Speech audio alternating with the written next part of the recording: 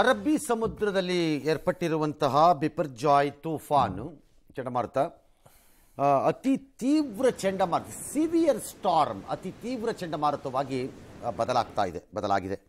ಕರಾವಳಿ ತೀರದ ಕಡೆಗೆ ಬಂದು ಅಪ್ಪಳಿಸ್ತಾ ಇದೆ ಒಂದೇ ಕಡೆ. ಸಮುದ್ರ ಪ್ರಕ್ಷುಬ್ಧಗೊಂಡಿದೆ, ಅಲ್ಲಲ್ಲಿ ಅಲ್ಲಲ್ಲಿ. ಭಾಳ ಹೆಚ್ಚಿನ ಸಮಸ್ಯೆ ಕಾಣಿಸ್ತಾ ಇರೋದು ಗುಜರಾತ್ನ ತೀರ ಪ್ರದೇಶದಲ್ಲಿ ಕಾಣಿಸ್ತಾ ಇದೆ ಇದರ ಸಮಸ್ಯೆಗಳು. ಅಫ್ಕೋರ್ಸ್ ಆ ಕಡೆ ಪಾಕಿಸ್ತಾನದ್ದು ಅದು ಏನಾರು ಮಾಡ್ಕೊಂಡು ಹೋಗಲಿ ಅವ್ರುಗಳು. ನಮಗೆ ಸಂಬಂಧವಿಲ್ಲ ಅದು. ವೈಮಾನಿಕ ಸೇವೆಗಳೆಲ್ಲ ತೊಂದರೆ ಮುಂಬೈ ಏರ್ಪೋರ್ಟ್ಗೂ ಪ್ರಾಬ್ಲಮ್ ಆಗಿದೆ. ಕೆಲವು ವಿಮಾನ ಎಲ್ಲ ರದ್ದಾಗಿದೆ. ಇದೇ ಹದಿನೈದನೇ ತಾರೀಕು ಗುಜರಾತ್ನ ತೀರ ಪ್ರದೇಶಕ್ಕೆ ಅದು ಅಪ್ಪಳಿಸ್ಬೋದು ಅಂತ ಲೆಕ್ಕಾಚಾರ. ಬಟ್ ಈಗಾಗಲೇ ಅಲ್ಲಿ ಅಲೆಗಳು ಭಾರಿ ಪ್ರಮಾಣದಲ್ಲಿ ಎದ್ಬಿಟ್ಟಿವೆ ಮೇಲಕ್ಕೆ. ತುಂಬ ಸಮಸ್ಯೆ ಉಂಟಾಗಿದೆ ಅಲ್ಲಿ. ಸದ್ಯ ಪೋರ್ಬಂದರ್ನಿಂದ ಮುನ್ನೂರು ಹತ್ತು ಕಿಲೋಮೀಟರ್ ದೂರದಲ್ಲಿರೋದೊಂದು ದ್ವಾರಕಾಯಿಂದ ನಾನ್ನೂರ ಮೂವತ್ತು ಕಿಲೋಮೀಟರ್ ಇದೆ. ಗಂಟೆಗೆ ಎಂಬತ್ತು ಎಂಬತ್ತೆಂಟು ಕಿಲೋಮೀಟರ್ ಅಷ್ಟು ಕಿಲೋಮೀಟರ್ ವೇಗದಲ್ಲಿ ಇದೆಯಂತೆ. ಮುಂದಕ್ಕೆ ಅದು ಏನು ತೀವ್ರತೆಯನ್ನು ಪಡ್ಕೊಳ್ಳುತ್ತೆ ಅಂತ ಗೊತ್ತಿಲ್ಲ. ಪಡ್ಕೊಳ್ಳೇಬೇಕು ಅಂತಾನೂ ಇಲ್ಲ. ವೀಕೂ ಆಗ್ಬೋದು ಅದು ಮಧ್ಯದಲ್ಲಿ. ಸ್ಟ್ರಾಂಗೂ ಆಗ್ಬೋದು ಅದು okay okay as it moves ಚಂಡಮಾರುತ ತೀರದ ಸಂದರ್ಭದಲ್ಲಿ ನೂರ ಮೂವತ್ತೈದು ಕಿಲೋಮೀಟರ್ ಬೀಸ್ಬೋದು ಅಂತ ಲೆಕ್ಕಾಚಾರ ಹಾಕಿದ್ದಾರೆ. ಹಾಗಾಗಿ ಎಲ್ಲ ಕಡೆ ಅಲರ್ಟ್ ಇದೆ. ವಿಪರೀತ ಇದಾಗಿದ್ದಾರೆ ಅಧಿಕಾರಿಗಳೆಲ್ಲ. ಪಾಕಿಸ್ತಾನದ ಕರಾವಳಿಯಲ್ಲಿ ಕಟ್ಟೆಚ್ಚರ. ಯೋ ಅದು ಏನು ಕಟ್ಟೆಚ್ಚರ ಅಂತ ದೇಶ ಕೇಳ್ತಾರೆ ಅವ್ರು ಏನೋ ಒಂದು ಮಾಡ್ಕೋತಾರೆ. ಬಿಡಿ ನೀವು ಯಾಕೆ ತಲೆ ಕೆಡಿಸ್ಕೋತೀರಿ ಅದಕ್ಕೆ? ತೀರ ಪ್ರದೇಶದ ಜನರನ್ನು ಮಾಡ್ತಾ ಇದ್ದಾರೆ. ಅವ್ರು ಏನೋ ಮಾಡ್ಕೋತಾರೆ. ಅವ್ರಿಗೆ ಅವ್ರಿಗೆ ಅದೆಲ್ಲ ನ್ಯಾಕ್ ಇದೆ. They know how to manage themselves ಅವ್ರು ಮಾಡ್ಕೋತಾರೆ ಪಿಡಿ.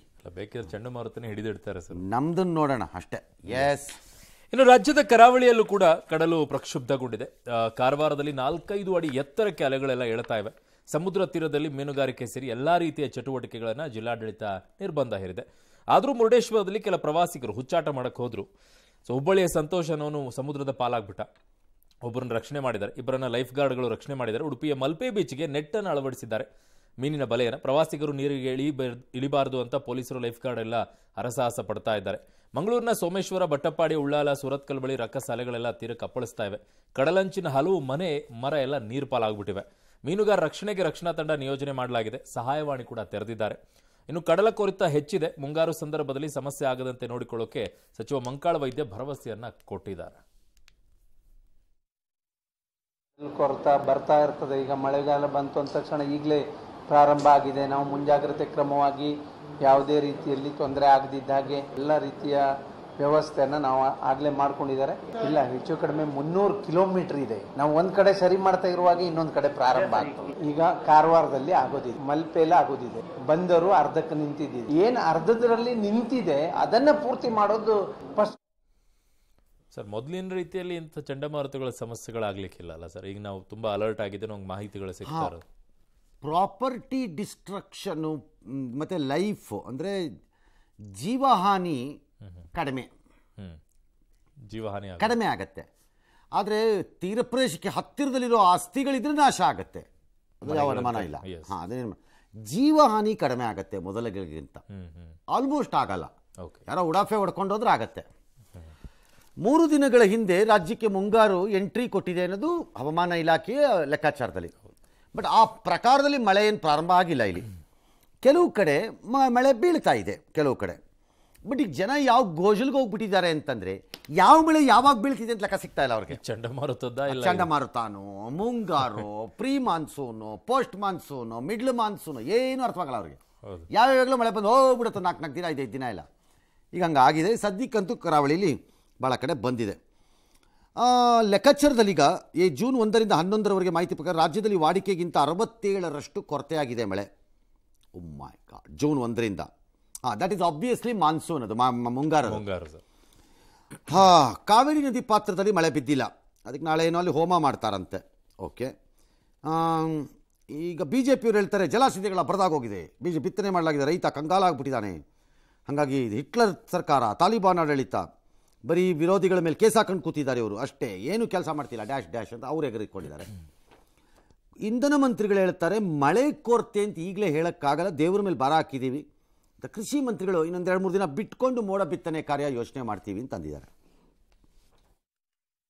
ಇನ್ನೂ ಮಳೆ ಅಂತ ಹೇಳಲಿಕ್ಕೆ ಆಗೋದಿಲ್ಲ. ನಾವೆಲ್ಲ ಹೋಪ್ ಮೇಲೆ ಇರೋರು, ದೇವ್ರ ಮೇಲೆ ಭಾರ ಹಾಕೋರು.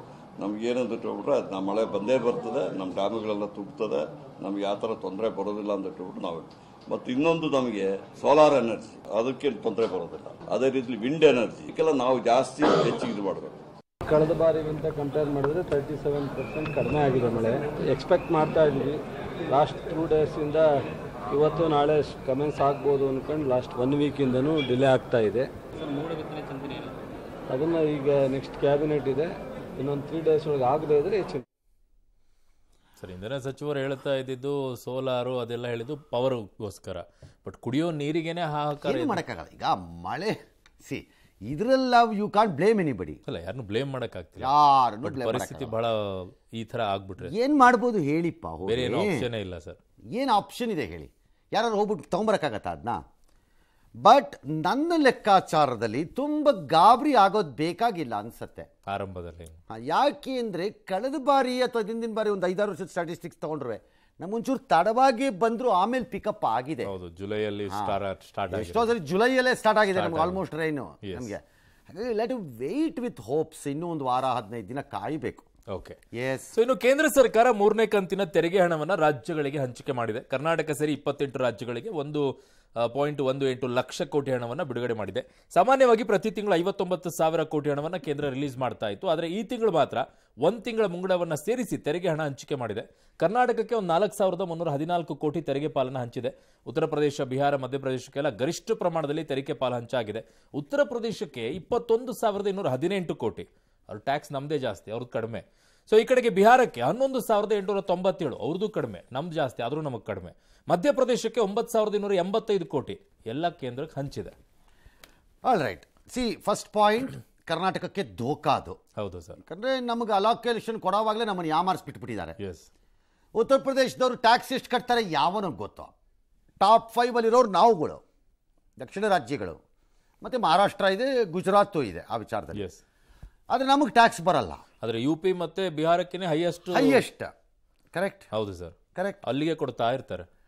ಇದು ಅನ್ಯಾಯ ಅಂತ ಹೇಳಕ್ ಒಂದು ಹೊಸ ಬೂತ್ ಕನ್ನಡಿ ಏನು ಬೇಕಿಲ್ಲ. ಟ್ಯಾಕ್ಸ್ ಕಟ್ಟೋರಿಗೆ.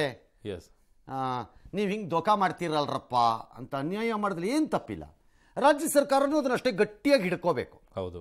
ಕೇಳಕ್ಕೆ. ಎಸ್ ಕೊಡ್ತಾರೋ ಬಿಡ್ತಾರೋ ಆಮೇಲೆ ನೋಡೋಣ. ದೋಖಾ ಅಂತೂ ನಿಜ. ಹೌದು. But the reverse side of it ಹೇಳ್ತೀನಿ ಈಗ ನಾನು ನಿಮ್ಗೊಂದು. ಏನು ಸರ್ ಸುಮ್ಮನೆ ಆಸ್ ಎ ಕುತೂಹಲಕ್ಕೆ ಯಾರಿಗಾರು ಚರ್ಚೆಗೆ ಅಂಶ ಒಂದು ಹೆಲ್ಪ್ ಮಾಡಲಿ. ಏನ್ ಸರ್?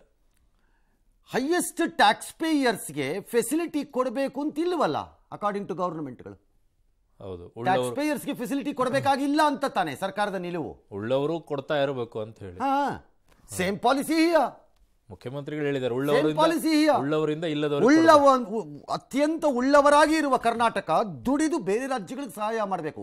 ಕಡು ಬಡತನದಲ್ಲಿರುವ ಬಿಹಾರ ಮತ್ತು ಉತ್ತರ ಪ್ರದೇಶಕ್ಕೆ. ಈ ಲಾಜಿಕ್ ಇಲ್ಲ ಅಪ್ಲೈ ದ ಲಾಜಿಕ್ ಲಾಜಿಕ್ ಆಗ್ತಿರಲ್ಲ ಬೇರೆ ಬೇರೆ ಲಾಜಿಕ್ ಹಾಕಕ್ಕಾಗಲ್ಲ ನೀವು. ಎರಡು ಒಂದೇ ಲಾಜಿಕ್ ಎರಡು ಒಂದೇ ಲಾಜಿಕ್ ಉಳ್ಳವರು ಕೊಡಬೇಕು ಇಲ್ಲದೆ ಇರೋರಿಗೆ ತೆರಿಗೆ ಅವ್ರಿಗೆಲ್ಲ ಯಾಕ್ರಿ ಕೊಡ್ತಾರೆ? ಅಂತಾರೆ. ಕರೆಕ್ಟ್ ಕೊಡಬೇಕಾಗಿಲ್ಲ ಅವರು. ಯಾಕಂದ್ರೆ ಅವರು ಉಳ್ಳವರು. ಹೌದು. ಇಲ್ಲದೆ ಇರೋ ಕಡೆ ಕೊಡಬೇಕು. ಸೇಮ್ ರಾಜ್ಯ ಇದು ವ್ಯಕ್ತಿ ಇದು ರಾಜ್ಯ. ನಾನು ಆರ್ಗ್ಯುಮೆಂಟ್ಗೆ ಅದನ್ನು ಹೇಳಿದ್ದಷ್ಟೇ. ಎಸ್ ಆದರೆ ಒರಿಜಿನಲಿ ಕರ್ನಾಟಕ ತಮಿಳುನಾಡು ಮುಂದಿನ ದಿನಗಳಲ್ಲಿ ತೆಲಂಗಾಣ ಸೇರ್ಕೊಳ್ಳುತ್ತೆ ಸ್ವಲ್ಪ ಮಟ್ಟಿಗೆ ಅನ್ಸುತ್ತೆ ರೆವಿನ್ಯೂ ವಿಚಾರದಲ್ಲಿ. ಗುಜರಾತ್ ಮಹಾರಾಷ್ಟ್ರ. ನಮ್ಗೆ ಅನ್ಯಾಯನೇ. ಅವ್ರಿಗೆ ಯಾಕೆ ಅಂತಂದರೆ ಅವ್ರು ಹಿಂದುಳಿದಿದ್ದಾರಂತೆ ಅವ್ರನ್ನ ಎತ್ತಬೇಕು ಅಂತ ಅವ್ರಿಗೆ ಜಾಸ್ತಿ ಕೊಡ್ತಾರಂತೆ. ಅದನ್ನು ಕೊಡ್ತಾನೇ ಬರ್ತಿದ್ದಾರೆ ದಶಕಗಳಿಂದ. ಅದಕ್ಕೇನು ಬೌಂಡ್ರಿ ಎಂಡೇ ಆಗಲ್ಲ. ಅದೊಂಥರ ಅಕ್ಷಯ ಪಾತ್ರಗಳು ಹೋಳಕ್ಕೆ ಹೋಗ್ತಾ ಇರುತ್ತಲ್ಲಿ. ಅವ್ರು ಬಂದು ನಮಗೆ ಪಾಠ ಹೇಳ್ತಾರೆ. ಟ್ಯಾಕ್ಸ್ ಕಟ್ಟೋರಿಗೆ ಟ್ಯಾಕ್ಸ್ ಕಟ್ಟದೇ ಇದ್ದವ್ರು ಬಂದು ಪಾಠ ಹೇಳ್ತಾರೆ. ವ್ಯಕ್ತಿನಲ್ಲೂ ಹೌದು ರಾಜ್ಯದಲ್ಲೂ ಹೌದು. ಅತ್ಯಂತ ಅಮೋಘವಾದಂತಹ ಕತೆ. ಸಾಮಾನ್ಯವಾಗಿ ನಾವು ಹೇಳ್ತೀವಿ ಹೆಣ್ಣು ಮಕ್ಕಳು ಬಹಳ ಜವಾಬ್ದಾರಿ ಅಂತ. ಹೌದು. ಯಾವಾಗಲೂ ಹೇಳ್ತೀವಿ ನಾವು ಅದನ್ನು. ಹೆಣ್ಣು ಮಕ್ಕಳು ಹೆಚ್ಚು ಜವಾಬ್ದಾರಿ ಗಂಡು ಮಕ್ಕಳ ಥರ ಉಡಾಪೆ ಅಲ್ಲ ಅಂತ ನಾವು ಹೇಳ್ತೀವಿ. ಎಕ್ಸಾಕ್ಟ್ಲಿ ಒಂದು ಹದಿಮೂರು ವರ್ಷದ ಹೆಣ್ಣು ಮಗು ನಡೆದು ಮಾಡಿರೋ ಸಾಕತೆ ಅಮೆಜಾನ್ ಕಾರ್ ಕಾಡಿನಲ್ಲಿ ನ ರಕ್ಷಣಾ ಪಡೆಗಳ ಒಂದು ನಾಲ್ಕು ಮಕ್ಕಳನ್ನು ಉಳಿಸಿವೆ. ಯಾವುದು ವಿಮಾನದ ವಿಮಾನದ ಪತನ ಅಪಘಾತ ಲಘು ಉಳಿಸ್ಕೊಂಡ ತಕ್ಷಣ ಮಕ್ಕಳ ಹೇಳತ್ವೆ ರಕ್ಷಣಾ ಪಡೆಗಳಿಗೆ ನಮ್ಮ ತಾಯಿ ಸತ್ತೋಗಿದ್ದಾಳೆ ನಮ್ಗೆ ದಯವಿಟ್ಟು ಒಂಚೂರು ಆಹಾರ ನೀರು ಕೊಡಿ ಅಂತ. ರಕ್ಷಣಾ ಪಡೆಯವರು ಹೇಳ್ತಾರೆ ನಾವು ನಿಮ್ಮ ತಂದೆ ಸ್ನೇಹಿತರು ಅವರೇ ಕಳಿಸಿರೋದು ನಮ್ಮನ್ನು ಅಂತ. ಆಗಿದ್ದೇನು ವಿಮಾನ ದುರಂತ ಆಗೋಯ್ತು. ಆಕೆ ಆತನ ಪತ್ನಿ ಮಗ್ದಲೀನಾನೋ ಏನೋ ಆಕೆ ಸತ್ತೋಗಿದ್ದಾರೆ. ಆದರೆ ಆಕೆನೂ ತುಂಬ ಕಷ್ಟಪಟ್ಲಂತೆ, ನಾಲ್ಕು ದಿನ ಕಷ್ಟಪಟ್ಟಿದ್ದಾಳೆ ಆಕೆನೂ ಬದುಕೊಳ್ಳೋಕ್ಕೆ ಆಕ್ಸಿಡೆ, ವಿಮಾನ ಅಪಘಾತ ಆದಮೇಲೆ ಆದರೆ ತನ್ನ ಕೈಲಿ ಆಗಲ್ಲ ಬದುಕಕ್ಕೆ ಅಂತ ಗೊತ್ತಾದಾಗ ಅವಳು ನೀವು ಇಲ್ಲಿಂದ ಹೇಗಾದರೂ ಮಾಡಿ, ಹೊರಟುಬಿಡಿ, ಅಪ್ಪನ ಸೇರ್ಕೊಳ್ಳಿ ಅಂತ ಹೇಳಿಬಿಟ್ಟಿದ್ದಾಳೆ. ಎಲ್ಲಿ? ಏನು ಬೆಂಗಳೂರಿನಲ್ಲಿ ಸದಾಶಿವನಗರದಲ್ಲೋ? ಅಥವಾ ಯಾವುದೋ ಊರಿನಲ್ಲಿ ಏರಿಯಲ್ಲಿ ಹೇಳ್ದಂಗಿದು? ಅಮೆಝಾನ್ ಫಾರೆಸ್ಟಲ್ಲಿ ಮಕ್ಕಳು ಅಪ್ಪನ ಸೇರ್ಕೊಳ್ಳಿ ಅಂದ್ಬಿಟ್ಲು. ಮಕ್ಕಳು ಆಯಿತು ಅಂತ ಅಪ್ಪನ ಸೇರ್ಕೊಳ್ಳೋಕೆ ಹೊರಟ್ಬಿಟ್ವಿ ಇವು. ಅಲ್ಲಿ ಇದ್ದಿದ್ದೇನು ನಲವತ್ತು ದಿನ ಗೆಣಸು ಗೆಡ್ಡೆ ಸಿಕ್ಕ ಸಿಕ್ಕಿ ತಿನ್ಕೊಂಡು ಬದುಕಿವೆ. ಆ ಮಕ್ಕಳ ಹಣ್ಣುಗಳು ಏನು ಸಿಕ್ಕಿದೆಯೋ ತಿನ್ಕೊಂಡು ಬದುಕಿವೆ. ಆ ಮಕ್ಕಳುಗಳಿಗೆ ದಾರಿ ತೋರಿಸಿರೋದು ಈ ಹದಿಮೂರು ವರ್ಷದ ದೊಡ್ಡ ಹೆಣ್ಣು ಮಗು. ಅದರಲ್ಲಿ ಎಷ್ಟು ಒಂದು ಹನ್ನೊಂದು ತಿಂಗಳ ಹಸುಗೂಸು ಒಂದಿದೆ. ಅವಳು ಏನು ಮಹಾ ತಾಯಿ ಇರಬೇಕು ರೀ ಅವಳು. ಕಾಪಾಡಿದ್ಲಪ್ಪ ಕಾಪಾಡದ್ಲಪ್ಪ ಅವಳು? ಅನ್ಬಿಲೀವಬಲ್ ನಲವತ್ತು ದಿನ ಕಾಪಾಡಿದಾಳೆ ಎಲ್ಲಾರನ್ನೂ ಹೇಳು. ಅಮೇಝಿಂಗ್ ಸ್ಟೋರಿ ಅಂದರೆ ಇದಪ್ಪ. ಅದರ ದೃಶ್ಯಗಳನ್ನು ನೋಡ್ತಾ ಇದ್ದೀರಿ. ಈಗ ಆ ಮಕ್ಕಳನ್ನ ರಕ್ಷಣೆ ಮಾಡಿಕೊಂಡು ಕೊಲಂಬಿಯಾದ ರಾಜಧಾನಿ ಬೊಗೋಟಾಗೆ ಸೈನಿಕ ಆಸ್ಪತ್ರೆಗೆ ತಂದಿದ್ದಾರೆ. ಎಲ್ಲ ಮಕ್ಕಳು ಚೇತರಿಸ್ಕೊಳ್ತಾ ಇವೆ. ನನ್ನ ಪ್ರಕಾರ ಇದೊಂದು ಇದೊಂದು ಕಂಡು ಕೇಳರಿಯದ ಮನುಷ್ಯನ ತೀರ್ಮಾನ ಗಟ್ಟಿಯಾಗ್ಬಿಟ್ರೆ ಹೌದು ಹೇಗಿರ್ಬೋದು ಅನ್ನೋಕ್ಕಿದ್ದು ಅಮೇಝಿಂಗ್ ನನಗೆ ಅದು ದೊಡ್ಡವರಾಗಿದ್ದರೆ ನಾನೇನು ಅಂತಿರ್ಲಿಲ್ವೇನೋ. ಹೇಗೋ ಬದುಕಿವೆ ಬಿಡು ಬಟ್ ಅಂತ ಅದು ಕೂಡ ಅಮೆಝಾನ್ ಫಾರೆಸ್ಟ್ನಲ್ಲಿ ಫಾರೆಸ್ಟ್ ಅಲ್ಲಿ ಆ ಮಳೆ ಆಗ ಇದು ಆ ಕತೆ ಅದ್ಯಾವುದೋ ಗೆಡ್ಡೆ. ಯಪ್ಪ ಅಮೇಝಿಂಗ್ ಸ್ಟೋರಿ ಎಸ್ ಎಸ್ ಇನ್ನು ಕೋವಿನ್ ಪೋರ್ಟಲ್ನಿಂದ ಅತ್ಯಂತ ಸೂಕ್ಷ್ಮ ದತ್ತಾಂಶ ಸೋರಿಕೆ ಆಗಿವೆ ಅನ್ನುವಂಥ ಸುದ್ದಿಯನ್ನು ಕೇಂದ್ರ ಸರ್ಕಾರ ತಳ್ಳಿ ಹಾಕಿದೆ. ಯಾವುದೇ ಆಧಾರಗಳು ಇಲ್ಲದೆ ಡಾಟಾ ಲೀಕ್ ಆಗಿದೆ ಅನ್ನೋದು ಹೇಳೋದು ಸರಿಯಲ್ಲ. ಕೋವಿನ್ ಪೋರ್ಟ್ನಲ್ಲಿ ಎಲ್ಲಾ ದತ್ತಾಂಶಗಳು ಅತ್ಯಂತ ಸೇಫ್ ಆಗಿವೆ ಅಂತ ಕೇಂದ್ರ ಆರೋಗ್ಯ ಇಲಾಖೆ ಸ್ಪಷ್ಟಪಡಿಸಿದೆ. ಅಮೆರಿಕಕ್ಕೆ ಮೋದಿ ಹೋಗ್ತಾರೆ. ಅವರ ಅಧ್ಯಕ್ಷರ ಆಹ್ವಾನದ ಮೇರೆಗೆ ಅಲ್ಲಿ ಎರಡೂ ಸಂಸತ್ತನ್ನು ಉದ್ದೇಶಿಸಿ ಭಾಷಣ ಮಾಡ್ತಾರಂತೆ. ಆಮೇಲೆ ನ್ಯೂ ಜೆರ್ಸಿ ಭಾರತೀಯ ರೆಸ್ಟೋರೆಂಟ್ ಒಂದಲ್ಲಿ ಅವ್ರು ತಾಲಿ ಎಲ್ಲ ಮಾಡಿದಾರಂತೆ. ಡ್ಯಾಶ್ ಡ್ಯಾಶ್ ಎಲ್ಲ ಮಾಡಿರ್ತಾರೆ ಬಿಡಿ, ತೊಂದರೆ ಇಲ್ಲ.